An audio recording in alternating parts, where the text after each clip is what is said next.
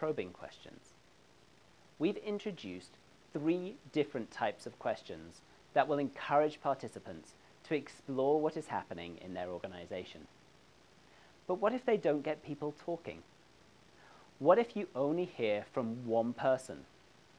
Or what should you do if you're only getting one-word answers?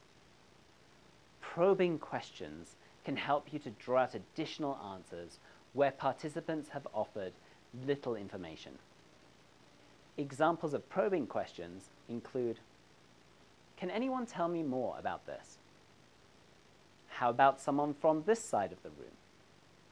Has anyone had a different experience? Or what other explanations are there? And remember, you can always use silence to encourage additional responses. By combining clarifying, objective, interpretive, and probing questions, you can develop a script for each capacity area that will help participants to explore in depth what's happening within their organization, identifying where they have strengths, weaknesses, and inconsistencies.